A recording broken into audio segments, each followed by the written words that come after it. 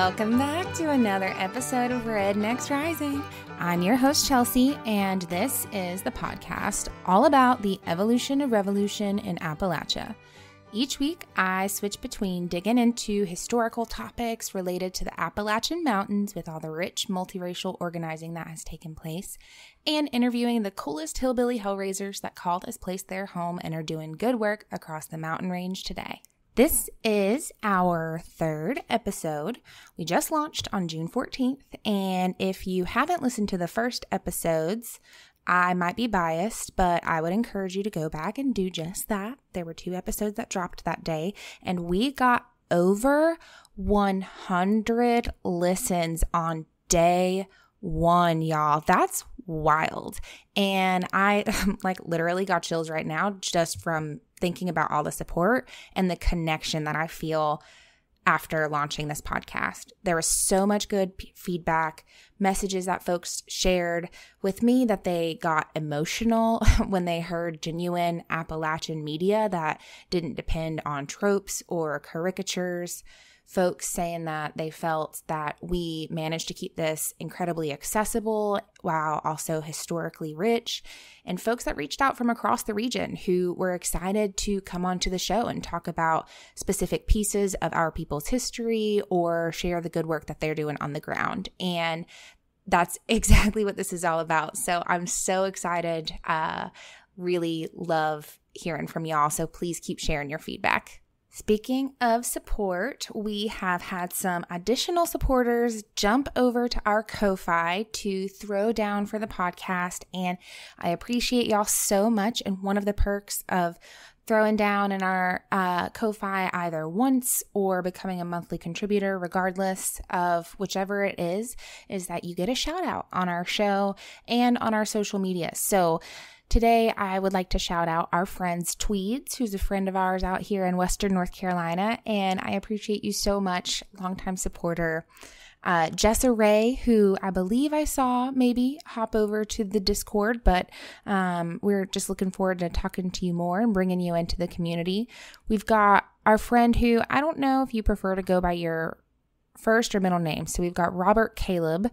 Thank you so much for your support, Robert Caleb our friend Melinda. You're the bomb, Melinda. Thanks for supporting the show. My friend Artie, who is from uh, Project Embodied Welcome, which has just recently launched their own podcast in honor of Pride Month, which is called the Pewcast, uh, stands for Project Embodied Welcome.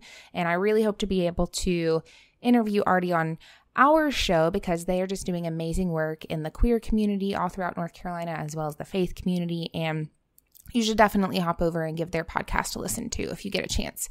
And then, last but certainly not least, my comrade Ryan J., who's done some phenomenal work out here in Western North Carolina, uh, advocating for healthcare and all kinds of good stuff. And uh, we appreciate you so much. Your support makes all the difference in the world. And in addition to shouting out these folks, I did want to mention that we are trying to build out our Discord community and we want you to be a part of the conversation over there on Discord. So, folks that are featured on the show in our guest episodes will be added to the Discord automatically when their episode drops if they're into that kind of thing.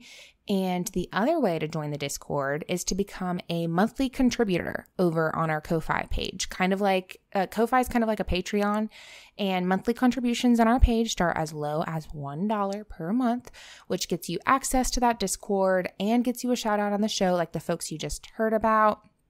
And in addition to that, each other level comes with sweet perks like the aforementioned Discord, access to unique merch. I am planning to send some stickers to some folks and even casting a vote on future episode topics because you know, around here, we believe in letting the people make decisions for themselves, if you know what I mean.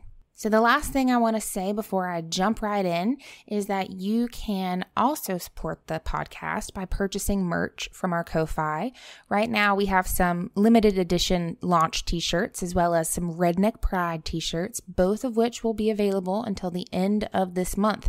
So, if you're listening and it's June and you want one, head on over before July comes around and you miss your chance. regardless of whether funds come in from merch, monthly memberships, one off donations, or what have you.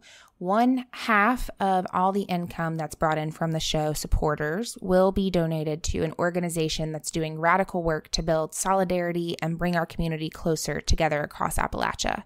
And the rest of that is going to help me pay for the cost of maintaining this podcast because surprisingly, podcasting is not free.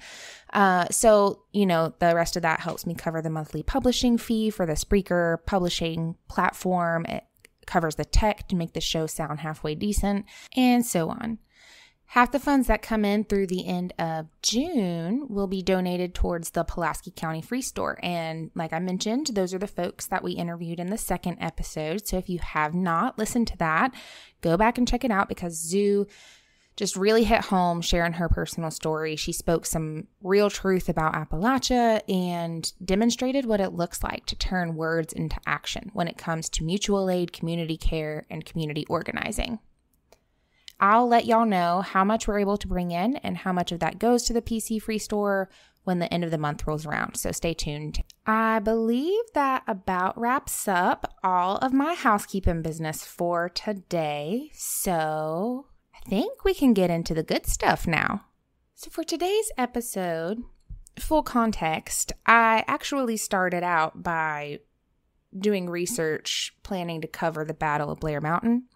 But my ADHD is such that that led me to doing research on historical labor uprisings that had happened in the century before the battle on Blair Mountain, which then led me to learning about multiracial organizing by indentured servants prior to the formalization of the Virginia slave codes, which then led me all the way back to colonial America and the introduction of race on this continent, and suddenly I was in a rabbit hole, begetting another rabbit hole, begetting another rabbit hole. So I thought I needed to start at the beginning for myself and probably, you know, it might be helpful for some of y'all listening out there because there is a whole lot of history that hasn't been covered in our public education curriculum, at least not that was covered in the public education that I received. And I am uncovering a lot of this for myself for the very first time. And I feel like a lot of it just offers context that's pretty important to understanding the big picture of where we are today in Appalachia, but also beyond. So, given that context, for today's episode, we are starting all the way back at the story of the lost colony. Well, actually, 20 years after the lost colony disappeared. In 1607, when the English attempted to establish another colony 150 miles up the coast at Jamestown. I want to be really clear that this colony was literally established as a means of making money for English royalty and wealthy shareholders who invested in this colonization venture. The Virginia Company of London's goals were very straightforward bring settlers to Virginia and return a profit for wealthy shareholders back in England. So let's just highlight like the whole reason our country was ever colonized to start with was to make money for folks back in England who weren't even here. And I am sure that there are folks of color out there or folks who are just more attuned or maybe had more access to accurate historical information that are like, well, duh, Chelsea, this was always clear. But for me, you know, I've always had like these gut feelings, but this had never really clicked until I started researching all of this for this podcast. So, wealthy people over in Europe paid to send the like upper middle class ish, we'll call them like the planter class, they're like ownership class, to come claim and colonize unfamiliar land solely for the purpose of making more money for those already wealthy people over in Europe. I also want to pause and give a disclaimer. I am not a historian, and I am sure that there are some folks with a very large extent of experience and knowledge about history and or political theory who are going to end up listening to this podcast and being like lord this girl does not know what she is talking about. But that's not really the point of this podcast. The point of this podcast is to explore the real lived experiences and new perspectives around history regarding Appalachian folks. And I come into all of this with a background in social work, like human behavior, community organizing type social work, and social policy stuff. But I've never actually been very good at history. And I think part of that is because I was being pitched this like really shitty, boring, whitewashed version of history that wasn't fun to learn about. But I'm learning a lot of this for the very first time. And if any of this is incorrect, please give me feedback. Let me know I'm wrong. I want to have you on the show if you know more than me about this stuff so that you can give more accurate information. I do the best I can to research this stuff with the resources that my public library and a couple of other folks have to offer, but that doesn't mean that I always cover everything comprehensively or even uh, in a way that some folks will agree with. So I want your feedback. Let me know. But I just wanted to give that disclaimer. That said, I also just want to make the connection here back to episode one.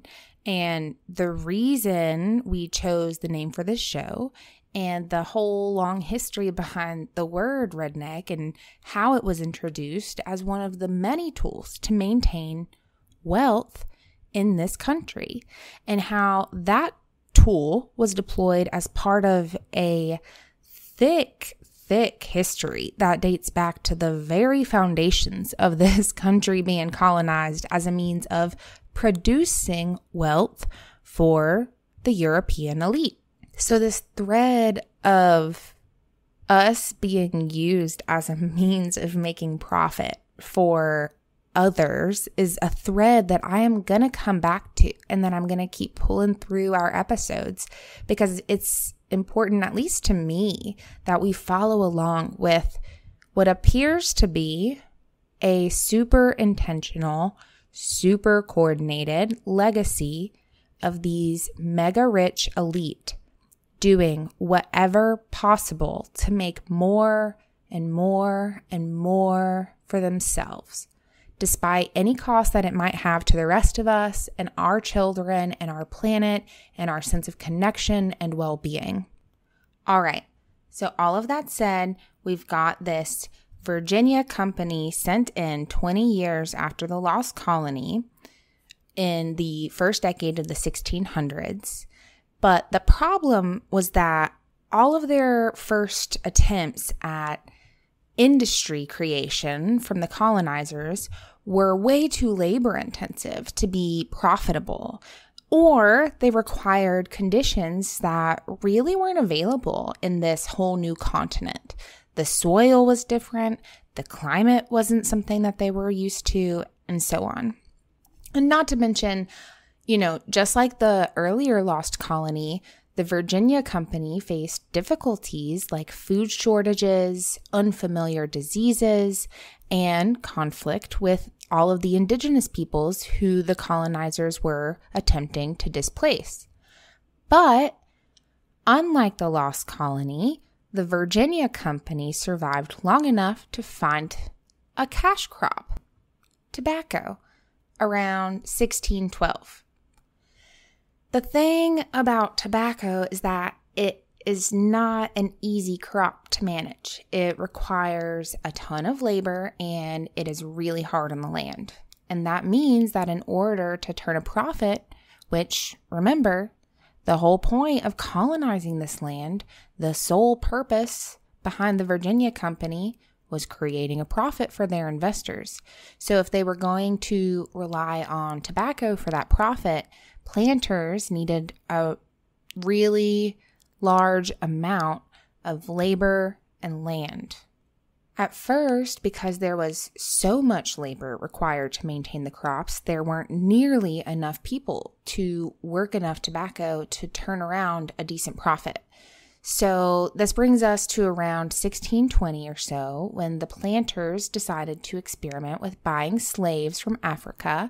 But at that point, it was just a little too expensive for them, considering that their whole mission was making a profit for these wealthy folks back in Europe. So, it just didn't make economic sense. And instead, they turned to English indentured labor. The English economy at this point in time was going through a pretty severe decline. And there were a lot of poor working folks that were desperate for a means of surviving and, you know, Lord forbid, even making a life for themselves. And these folks would agree to indentured servitude. And what this agreement for indentured servants looked like was typically four to seven years of labor in exchange for passage across the ocean and then they would get food and shelter during their agreement period, however long their contract was. And usually, once their contract was up, if they had fulfilled it, then they would also receive food and tools and like 50 acres of land or so, along with their freedom, so that they could start their free life. So, given that a lot of these poor indentured immigrants would never be able to dream of owning their own land back in Europe, this was a pretty good deal. Even though it was definitely a gamble because a lot of folks died before they were ever able to fulfill their contract, because as you can imagine, the living conditions in the colony were horrible. We already talked about food shortages, unfamiliar diseases, and all of the conflict that was created by the colonization. So at this point, we're in the early 17th century, and the ideas of race in America were less defined. Indentured servants from Europe were often immigrating from all over the continent, coming from a variety of cultures and languages. And African slaves much like indentured servants, from what I read at the time, and I hope someone will correct me if I'm wrong, at that point in time in the early 17th century, they were also bound for a defined specific period of time after which they would gain their freedom. And I'm going to drop the sources that I used for this episode in the show notes um, so that folks can let me know if I have come incorrect in any way. So, these indentured servants, these workers, often came together across race lines to organize or run away and try to find some kind of relief from the grueling labor and difficult working conditions that they were being exposed to. And so in July 1640, still in the first half of this 17th century, we see the first documented legal distinction made between Europeans and Africans in regards to laborers. It was in a case that appeared in front of the colony's judges, which described three servants belonging to Hugh Gwyn, who uh, these three servants ran away to Maryland and were captured there. There was Victor, a Dutchman, and James Gregory, a Scotchman, and both of those men were each sentenced to be whipped, and they received four years added on to the length of their contract. The third servant was described as a black man named John Punch, and this man was punished differently. Rather than take on additional years to his servitude, he was made a slave for life. So now it is at this point that I would like to invite us to collectively, if you are listening, participate in some critical thinking and curiosity. Let's explore why those who were in positions of decision making power would want to legally enforce different punishments between white and black indentured servants and slaves. The question that I like to always ask for myself is who benefits from this happening? Could it possibly be in this situation that they needed to give white servants a reason not to work with black servants by scaring them away from losing their potential freedom? Could it be that understanding that there were more collectively white and black folks working than there were landowners, could it be that the landowners also saw that black and white folks working together not only were dangerous because of their combined numbers, but were also threatening because ultimately black slaves had less to lose if caught, given that freedom was less accessible. So they might be a bad influence, right?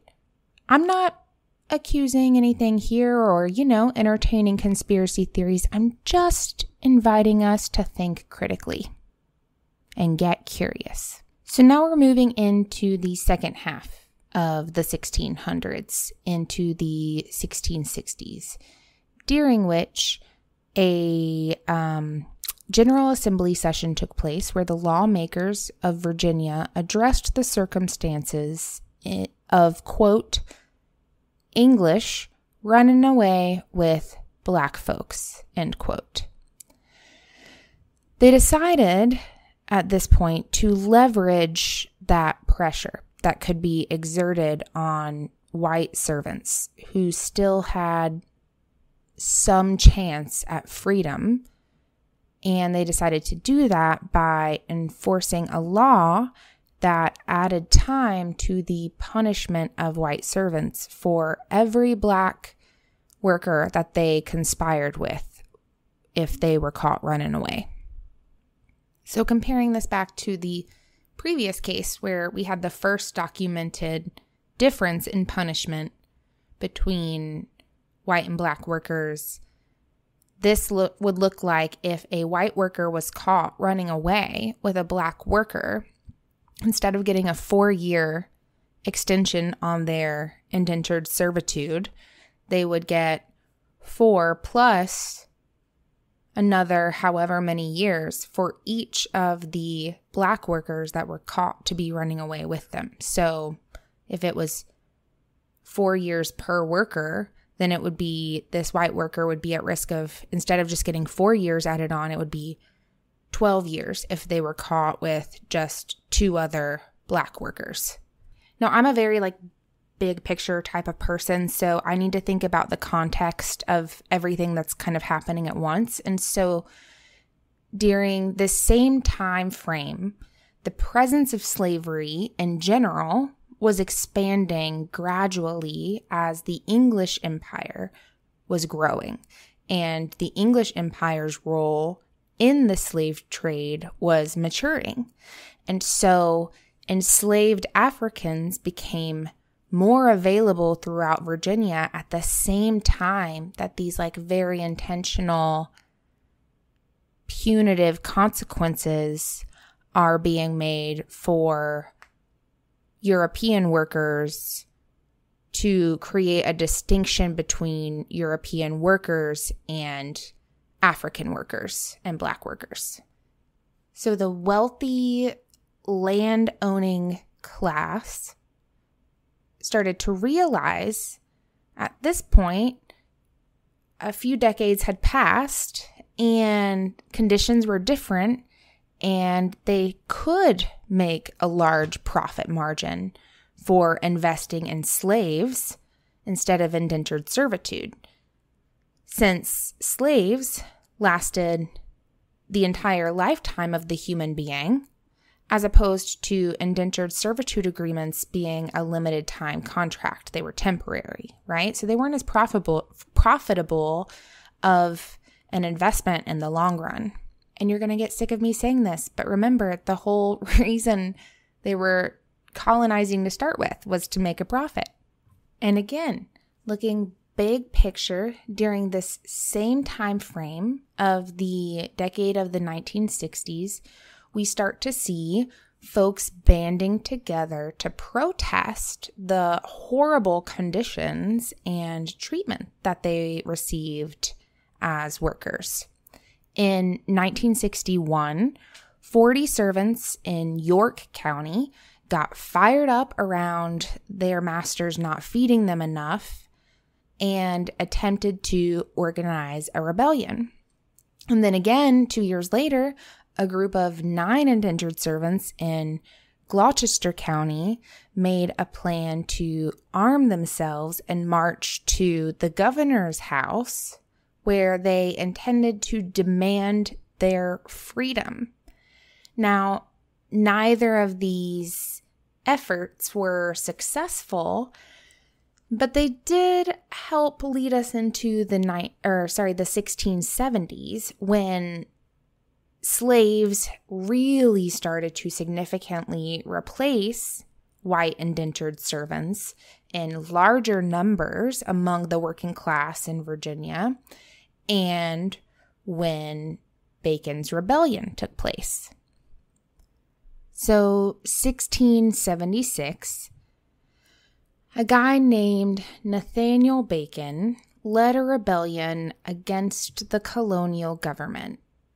And a large part of this rebellion was fueled by fear and hatred of the indigenous peoples. And so I really want to acknowledge that the events that took place during Bacon's rebellion are a direct result of white supremacist, capitalist colonialism and violence towards slash the displacement of indigenous communities. And at the core of Bacon's rebellion, there was an irreconcilable tension between the indentured servants that had immigrated into the Virginia Company and the indigenous communities whose lands and lives were being infiltrated and violated. And that said, I also want to explore this story a little more deeply to address the underlying foundation of the issue in profit driven social structures and caste systems. When we look at the rebellion from the perspective of the Virginia working class colonial society, Bacon's rebellion was simply bringing to a head problems that had been brewing for a really long time. There was this book that was published in the first decade of the 1700s that recounts three reasons for the rebellion. Quote, First, the extreme low price of tobacco and the ill usage of the planters in the exchange of goods for it, which the country, with all their earnest endeavors, could not remedy. Secondly, the splitting of the colony into proprieties contrary to the original charters and the extravagant taxes they were forced to undergo to relieve themselves from those grants. And thirdly, the heavy restraints and burdens laid upon their trade by the Act of Parliament in England. End quote. AKA, folks were sick of the falling prices of tobacco, combined with increasing taxes and the fact that the land was being given away to wealthy individuals against the agreement that had been made, which meant that the colonies couldn't sell it to help them cover the costs.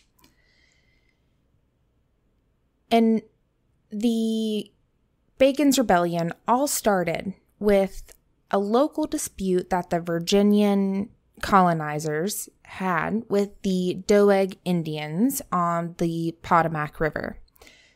Virginia militiamen responded to the dispute that was taking place by chasing these indigenous peoples north, where then a raid took place on the Virginia frontier.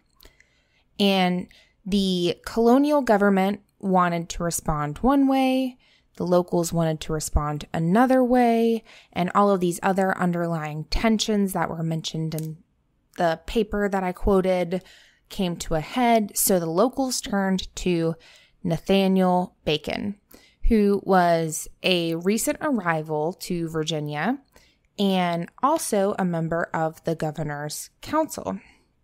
So all of this culminated in a civil war that pit Bacon's followers against the loyalists to the governor. And eventually, the governor was chased out of town and the capital was burned down by Bacon's army just before Bacon's unexpected death and just before the English crown sent a dispatch of troops to the area to quell the rebellion. So, this Nathaniel Bacon fella, he was not a member of the working class. I just want to make that clear. He was a member of this elite leadership. He served on the governor's council, and he was actually one of the richest men in the colony. But his followers, Bacon's army, if you will, included large numbers of disaffected servants that were both black and white. And again, that's because most of this actually goes back to the way that the workers were being treated and the inadequate profit driven leadership. So, that said, after Bacon's rebellion, the planter elite, this wealthy ownership class, were like, oh shit, we can't risk black and white working folks coming together like this because they outnumber us by far. And if they realize that, then we're doomed. We don't stand a chance. So, of course, they had to, at this point, consolidate their power after Bacon's rebellion and consolidate their control over the colony. So, who loses when the rich and powerful consolidate their control and power. Well, of course, it's the working class that loses. It's the the little guy. So the losers in this struggle tended to, to be the folks who were newer to the colony, who hadn't been there as long, and who may have held some resentment around the power and privileges of these established elite. And those who gained from this consolidation of power and control were this older class of wealth that had helped to found the colony a few decades earlier, or royalists who had fled to Virginia in the mid 1600s following the English Civil Wars. Does this sound familiar? The elite, wealthy owner, ownership class, owning, ownership class, working to consolidate their power and protect their wealth and using their wealth and using their power and their privilege to do that and assert their control over the rest of us in a way that ultimately benefits those who have this level of proximity to power and wealth. So, the lawmakers of Virginia at this point in time, as we're nearing the end of the 17th century, after Bacon's Rebellion, when all of these working class indentured servants and African slaves had come together essentially and taken up arms against the colonial government. After this happens, the lawmakers of Virginia begin to pass laws that define much more rigid distinctions between white and non white working folks and free and slave. Some, like historians and academics, argue that Bacon's rebellion forced the elite landowners of Virginia to recognize the danger of having such a large number of unhappy, angry working class folks in their midst, which was then addressed by the elite powerful of Virginia by relying more on the labor of slaves because they considered slaves to be safer due to being like less likely to become free and ultimately take up arms against the colony. And then other like academic historian folks have suggested that the move towards slave labor is actually more linked to economic profit um, rather than social causes and has to do with the price and availability of enslaved human beings. And, you know, probably it was like a combination of all of these things that led to the legislation and the formal policy that was passed at the beginning of the 1700s. But regardless, at this point, we see a Virginia that has been pumped and primed for racial animosity among working class white folks and working class folks of color and the indigenous peoples of the land.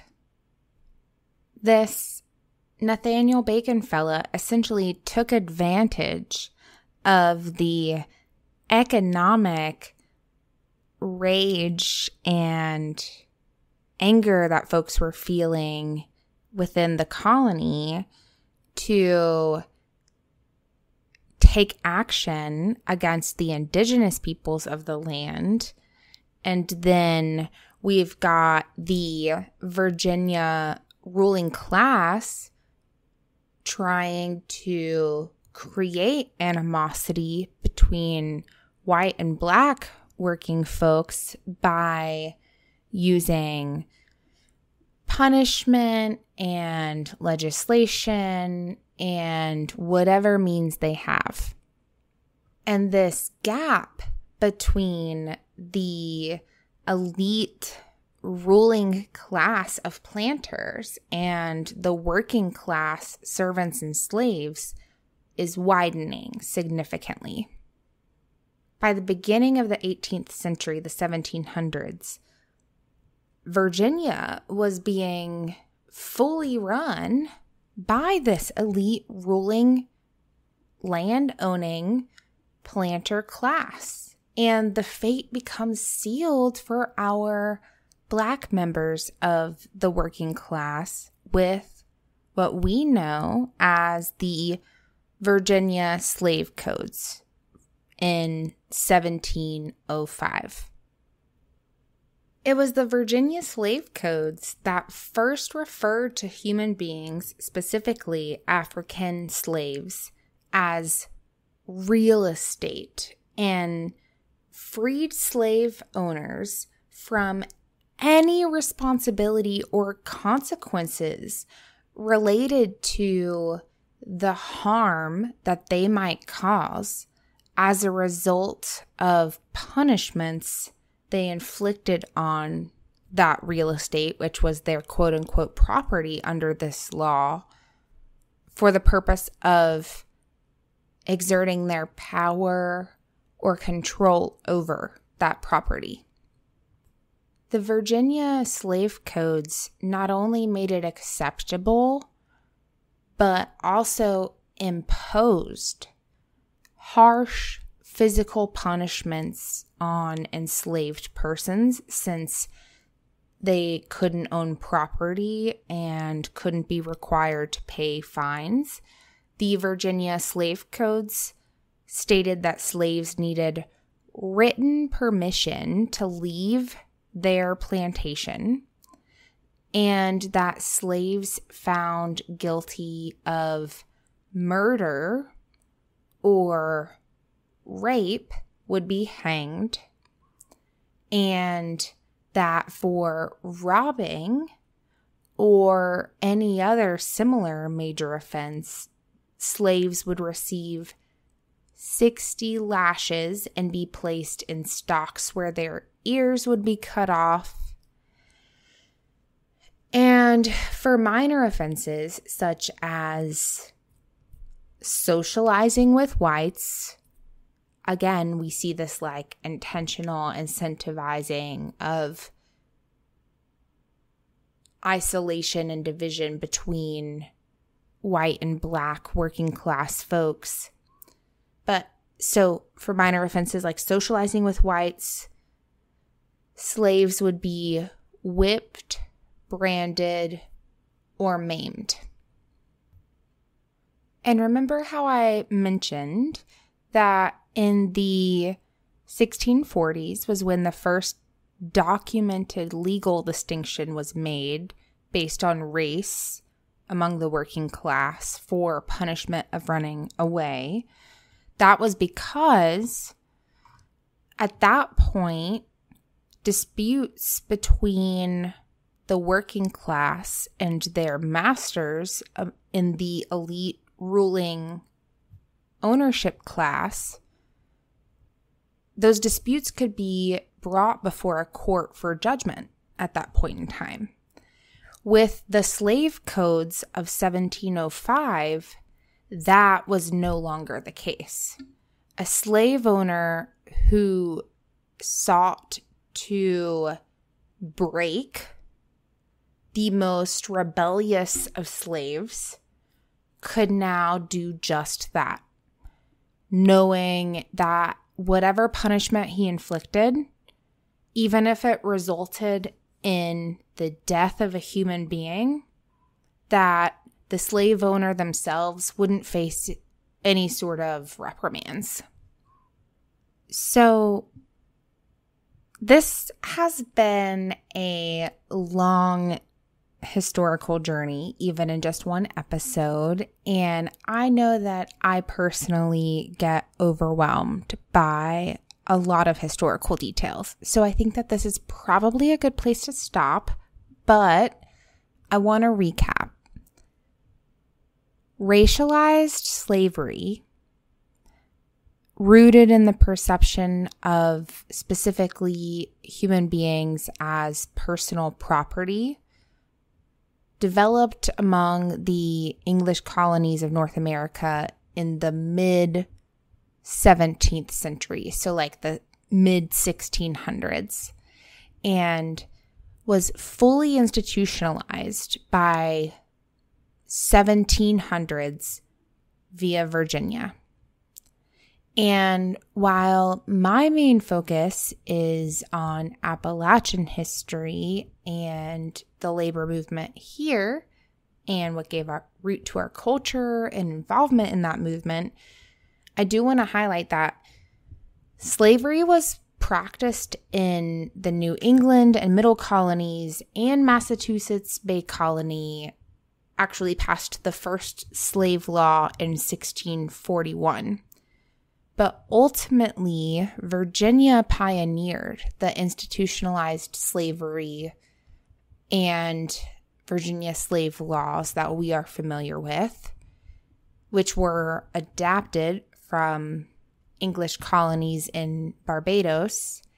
And these institutional distinctions between race and the consequences of those distinctions became a model that the other colonies then were able to draw on when creating their own legislation.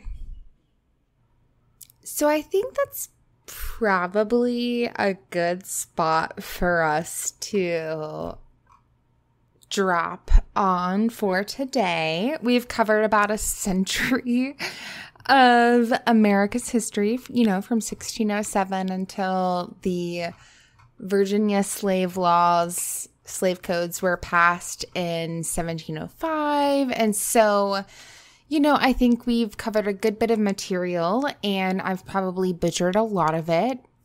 Please let me know if that is the case. And otherwise, we will pick up where we left off in a couple of weeks after we hear from our next interview episode, which will feature our friends Raf and Gina from Fire on the Mountain podcast, also based out of Western North Carolina. And in a couple of weeks, we will be hearing from our friends at the Chattanooga Free Store. But if there are other folks doing good work on the ground in the trenches across the Appalachian Mountains around mutual aid or community organizing or anything in between, let us know so we can hook up with them for an interview. In the meantime, you are welcome to support Rednecks Rising podcast by visiting our Ko-Fi, which is spelled K-O, like knockout, hyphen, F-I dot com slash rednecks rising. Spelled exactly like it is spelled in the title of this podcast. Facebook is the only website where we cannot spell rednecks the way that we would like to spell it, and we think that is because Facebook classifies rednecks as a hate word, which, fair enough, I guess. So, anyways, ko-fi.com slash rednecks rising spelled with C-K-S, not spelled with X. And that said, Lord willing and the creek don't rise, we will see y'all next week with Gina and Raf from Fire on the Mountain podcast. And we'll be back the week after that with more historical content. If you join us on Ko-Fi, you'll be able to vote on which topics we cover next in our historical episodes. Bye, y'all. Have a good week.